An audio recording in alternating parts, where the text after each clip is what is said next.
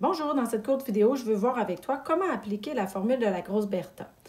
D'abord, c'est important de mentionner que cette formule, la formule quadratique, nous permet de trouver les solutions d'une équation du deuxième degré. On se souvient qu'une équation du deuxième degré, c'est une équation qui contient des variables au carré. Et ce type d'équation admet toujours deux solutions, donc deux valeurs de x pour lesquelles notre équation est vraie. En temps normal, jusqu'à maintenant, pour résoudre ce type d'équation-là, je te proposais d'aller factoriser ton polynôme et de trouver les deux solutions. Cette option-là est toujours valide. Par contre, la formule de la grosse Bertha est une généralisation de la complétion du carré qui va nous permettre d'arriver au même résultat. Donc, voici ce que je te propose pour pouvoir trouver les solutions d'une équation. Donc, prenons l'équation suivante, f de x est égal à 2x carré moins 4x moins 16. Si je souhaite trouver les abscisses à l'origine, c'est-à-dire je souhaite trouver les valeurs de x pour lesquelles mon équation va être égale à 0, je forme donc une équation du deuxième degré pour laquelle je cherche les deux valeurs de x. Je peux donc utiliser ma formule quadratique. La première chose à faire, c'est d'identifier chacun de tes paramètres. Donc, dans notre situation ici, quand on va parler du paramètre On fait référence au coefficient du terme en x carré. Donc, dans l'exemple ici, le paramètre A sera le paramètre de valeur qui est égal à 2. Donc, ce n'est pas nécessairement le premier terme, c'est le coefficient du terme en x carré. Tandis que le paramètre B, c'est toujours le coefficient du terme en x. Donc, dans notre situation ici, le paramètre B, on va mentionner que le paramètre B va être égal à moins 4. Et finalement, le paramètre C, c'est la constante. Donc, dans notre situation ici, la constante est de valeur moins 16. Donc, on va dire que le paramètre C est égal à moins 16. Lorsqu'on a déterminé chacun des paramètres, maintenant, on va utiliser la formule. Donc, la formule, elle se lit comme suit. J'ai moins la valeur du paramètre B. Une fois, je vais faire plus, une fois, je vais faire moins de la valeur obtenue de la racine du déterminant qui est B2 moins 4AC sur 2A. Donc, la première chose à faire, c'est d'aller changer les valeurs dans la formule.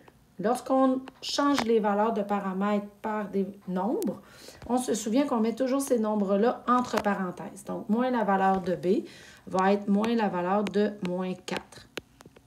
Une fois, je vais faire plus, une fois, je vais faire moins de la racine de b au carré. Donc ici, c'est moins 4 au carré, moins 4 fois la valeur de a, qui est 2, fois la valeur de c, qui est moins 16. Tout ça sur 2 fois la valeur de a. Donc, j'écris la valeur de chacun de mes paramètres. Ensuite, je dois évaluer cette valeur-là. Donc, en premier, je vais toujours te conseiller, selon la priorité des opérations, de commencer par le déterminant, c'est-à-dire de la valeur sous la racine. Donc, dans ce cas-ci, si je veux déterminer cette chaîne d'opérations-là, je dois commencer par mon exposant. Donc, moins 4 au carré va donner 16. Ensuite, je fais la chaîne multiplicative ici.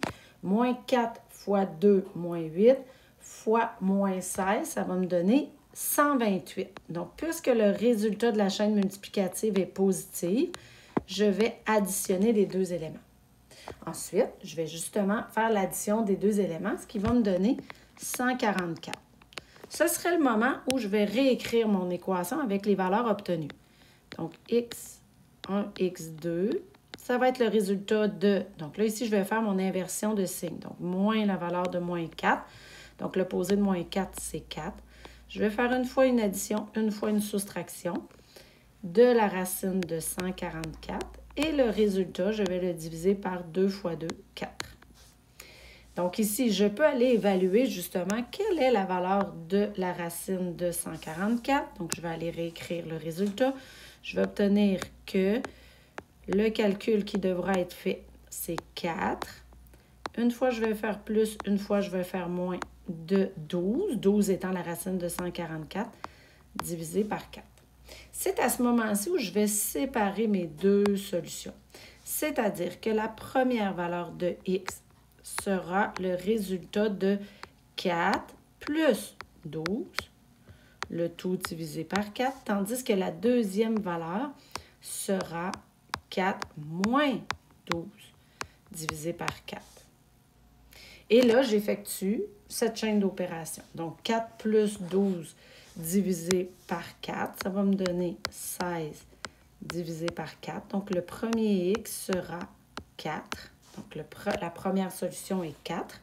Et la deuxième solution, 4 moins 12, qui donne moins 8, divisé par 4. Le deuxième x va être égal à moins 2. J'ai donc retrouvé les deux valeurs de x pour lesquelles mon équation que j'avais ici, elle est vraie. Donc, si x vaut 4 ou si x vaut moins 2, notre équation va donner 0. Donc, dans ce cas-ci, ce qu'on recherchait, c'était les abscisses à l'origine. Donc, on pourrait dire que la parabole croise l'axe des x à la valeur moins 2 et à la valeur 4. Et voilà un exemple d'application.